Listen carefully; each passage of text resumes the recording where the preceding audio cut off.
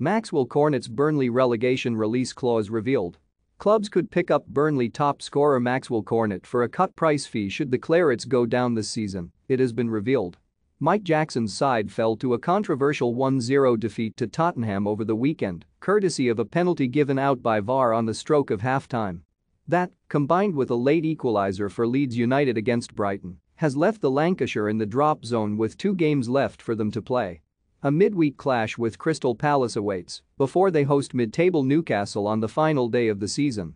And, while they have a game in hand on Leeds United, who travel to Brentford for their final game, they now know that they need at least a point from their final two fixtures to avoid a drop that they have been flirting with all season.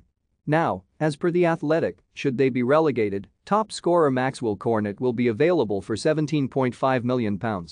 The Ivorian has netted 10 times for the Clarets this campaign since moving to Turf Moor last summer from Lyon, and his goals have been crucial in handing Burnley any hope of survival this season.